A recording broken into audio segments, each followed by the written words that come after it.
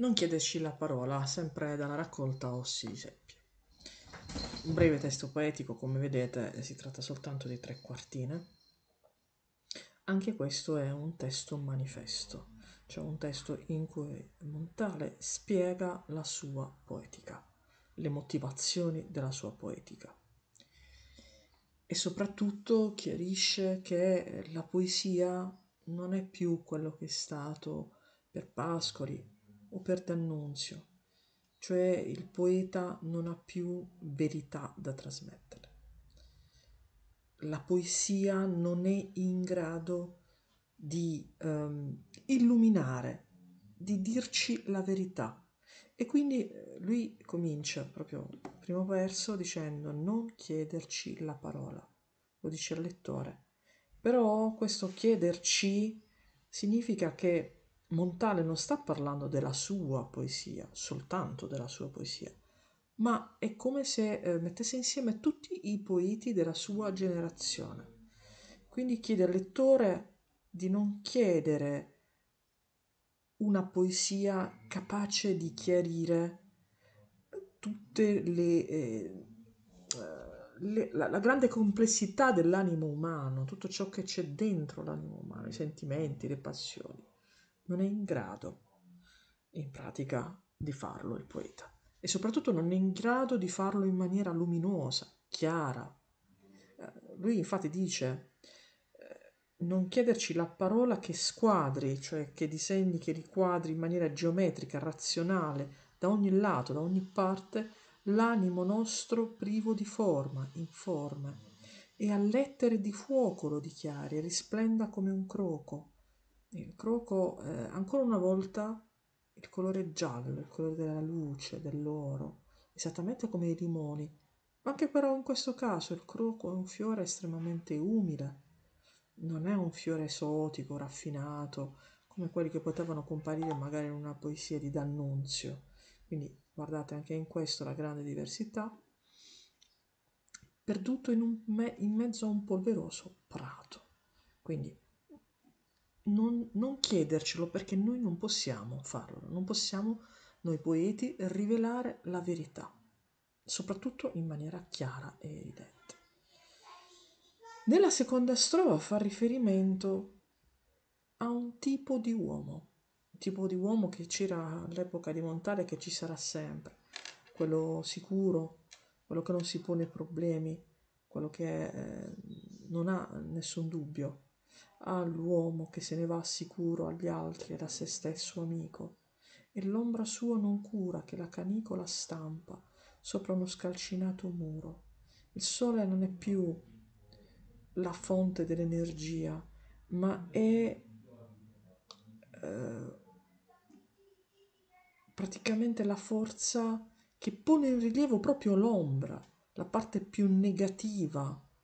Eh, quello che spesso non si vede ma che è presente nell'uomo e non è qualcosa di positivo perché è l'ombra, no? Proprio la luce del sole eh, fa in modo che sia evidente sul muro scalcinato proprio l'ombra dell'uomo, la sua eh, complessità, la sua malvagità, e chi non è in grado di vedere quest'ombra? Chi non se ne cura? Colui che è soddisfatto perfettamente di sé, non ha alcun dubbio, vive tranquillamente la sua esistenza senza guardare il lato negativo, che invece è ovvio c'è nella vita di ogni essere umano. Nell'ultima strofa ancora torna il discorso sulla poesia. Non domandarci la formula che mondi possa aprirti. Quindi la poesia come formula magica, così era intesa da poeti decadenti, simbolisti. Bene, questa poesia non apre alcun, ad alcun mondo, non c'è la possibilità. Se in alcuni poeti decadenti c'era questa possibilità, qui non c'è più. Adesso la poesia che i poeti come Montale, i poeti a lui contemporanei possono produrre, è una poesia priva di musicalità, sì, qualche storta sillaba è secca come un ramo, un ramo secco, contorto, morto, una sorta di residuo. Tornate all'idea che questo è un testo poetico che fa parte di Ossi di Seppia, quindi poetica dell'oggetto, oggetto povero, umile, dimesso, privo di vita. E poi termina Montale. Codesto solo oggi possiamo dirti ciò che non siamo, ciò che non vogliamo.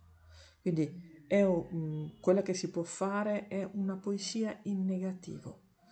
Ehm, tenete presente, siamo nel 1923, eh, ormai eh, la, dittatura, la, dittatura, fascista una, sta diventando sempre più una realtà. Il poeta mh, mm, ovviamente eh, si sente prigioniero, sa che non può fare nulla eh, di concreto e quindi ehm, in un certo senso ha un ripiegamento in se stesso e quindi può dire soltanto ciò che non è e ciò che non vuole essere. Non può dire nulla di ciò che vorrebbe essere perché ormai è privo di volontà. Quindi mm, la poesia che non è in grado più di portare ordine nel caos dell'uomo, ehm, la poesia che comunque ehm, qualcosa di luminoso, anche se adesso non riesce più a creare una parola poetica così luminosa. Vorrebbe fosse così, piena, vitale, ma non è così. Poi ci parla appunto del fatto che la società è fatta di tanti uomini conformisti, eh, decisi, sicuro che non si pongono delle domande, non, non perdono tempo, vanno avanti per la loro strada e non si rendono conto dell'ombra che pure è presente sul muro scalcinato.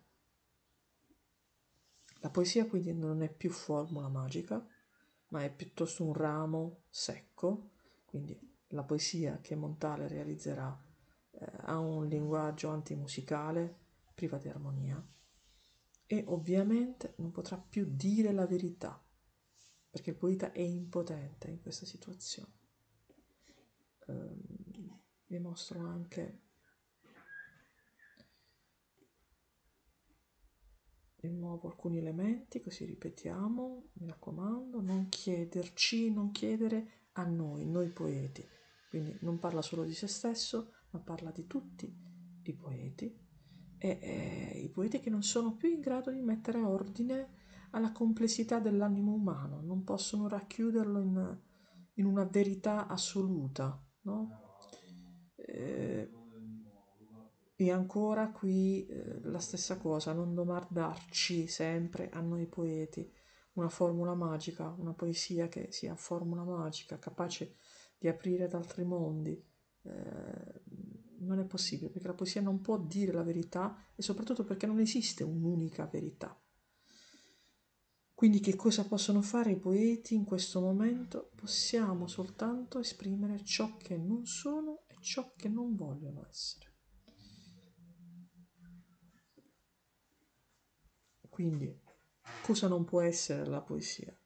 La poesia non può essere più qualcosa di luminoso. Ho detto l'immagine del croco, questo fiore giallo, luminoso, in un prato polveroso. Um, poi nella seconda strofa c'è questa critica al conformista, all'uomo senza dubbi, l'uomo che va avanti per la sua strada senza rendersi conto eh, di, di, di, quanto eh, in realtà la sua ombra sia presente e pesante e grave. Non, non se ne occupa per nulla, perché non ha dubbi. Um, la caratteristica in generale di tutta la raccolta, e cioè mh, il fatto che la poesia diventa povera, antimusicale, ehm, come un ramo secco, privo di vita, in contrapposizione alla bellezza, alla gentilezza, alla, alla delicatezza e alla luminosità del croco,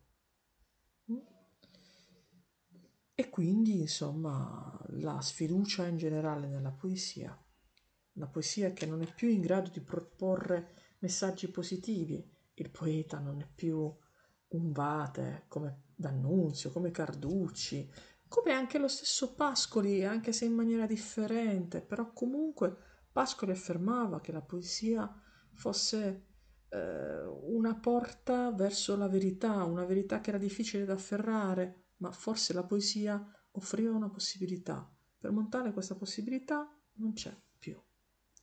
Bene, buon lavoro anche su questo testo.